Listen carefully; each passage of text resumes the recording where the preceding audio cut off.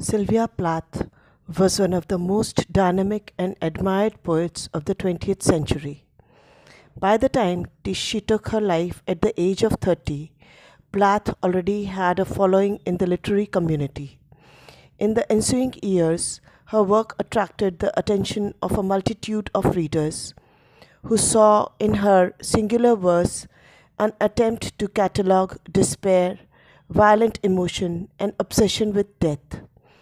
In the New York Times Book Review, Joyce Carol Oates described Plath as one of the most celebrated and controversial of post war poets writing in English.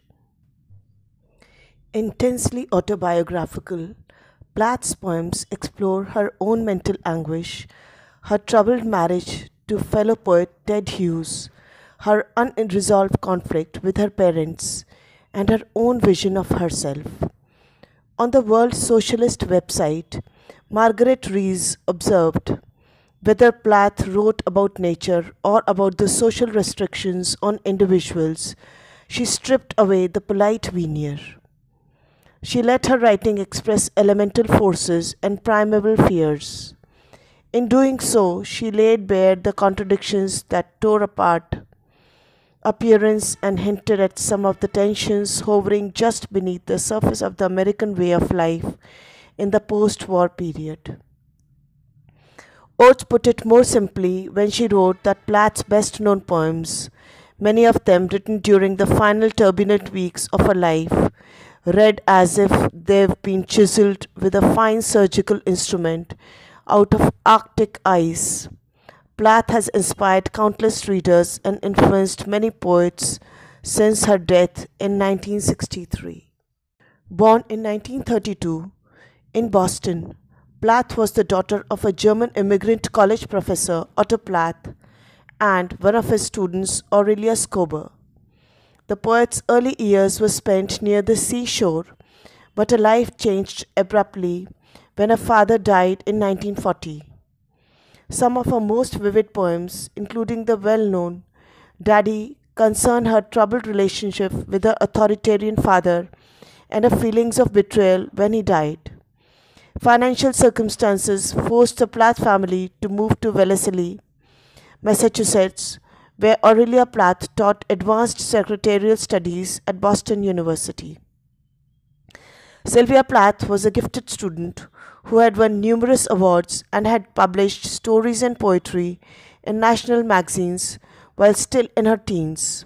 She attended Smith College on scholarship and continued to excel, winning a Mademoiselle Fiction Award contest one year and garnering a prestigious guest editorship of the magazine the following summer. It was during her undergraduate years that Plath began to suffer the symptoms of severe depression that would ultimately lead to her death. In one of her journal entries, dated June 20, 1958, she wrote, It is as if my life were magically run by two electric currents, joyous positive and despairing negative.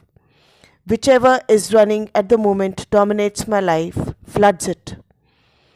This is an eloquent description of bipolar disorder, also known as manic depression, a very serious illness for which no genuinely effective medications were available during Plath's lifetime. In August 1953, at the age of 20, Plath attempted suicide by uh, swallowing sleeping pills. She survived the attempt and was hospitalized, receiving treatment with electroshock therapy. Her experiences of breakdown and recovery were later turned into fiction for her only published novel, The Bell Jar.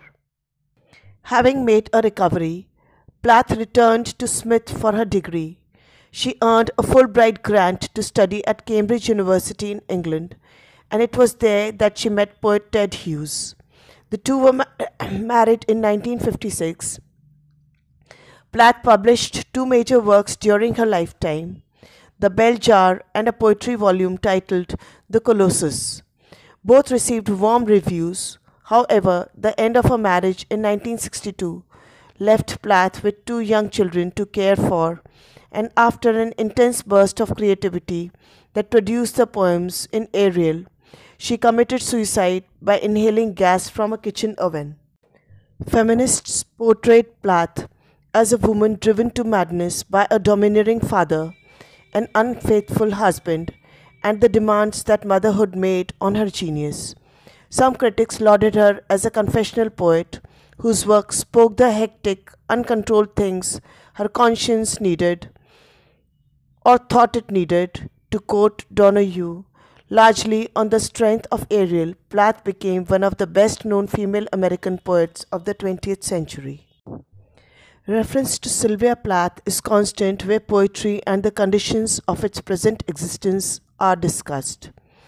Plath's growing posthumous reputation inspired young poets to write as she did. But as Tina maintained, her desperate integrity cannot be imitated. Or, as Peter Davison put it, no artifice alone could have conjured up such effects.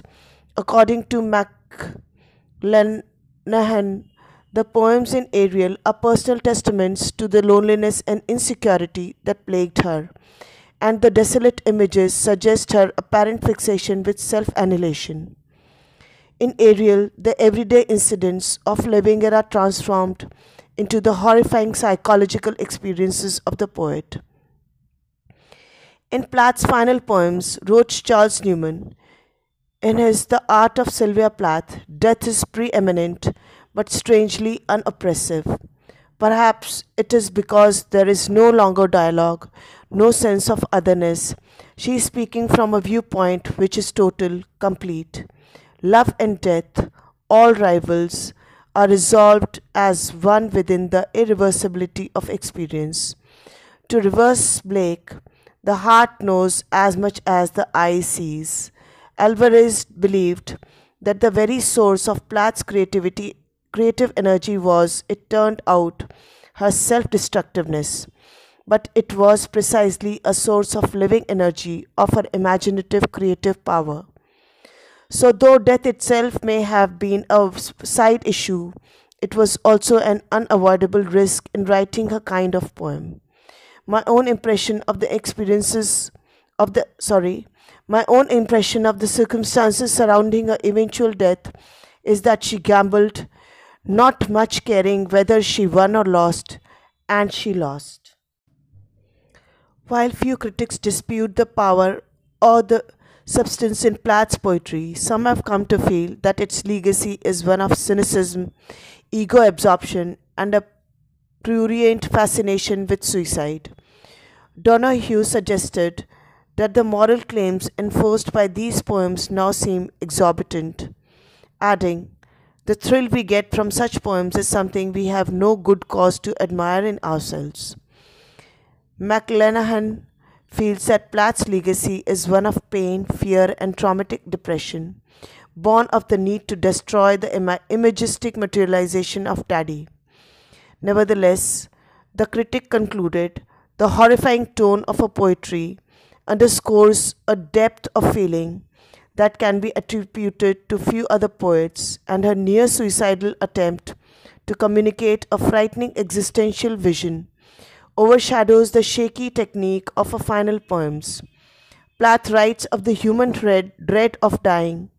Her primitive honesty and emotionalism are her strength.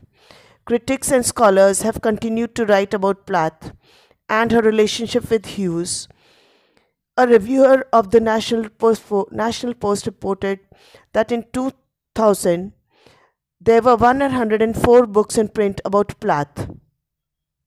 Newman considered The Bell Jar a testing ground for Plath's poems. It is, according to the critic, one of the few American novels to treat adolescence from a mature point of view. It chronicles a nervous breakdown and consequent professional therapy in non clinical language and finally, it gives us one of the few sympathetic portraits of what happens to one who has genuinely feminist aspirations in our society, of a girl who refuses to be an event in anyone's life. Plath remains among the few women writers in recent memory to link the grand theme of womanhood with the destiny of modern civilization. Plath told Alvarez that she published the book under a pseudonym, partly because she didn't consider it a serious work, and partly because she thought too many people would be hurt by it.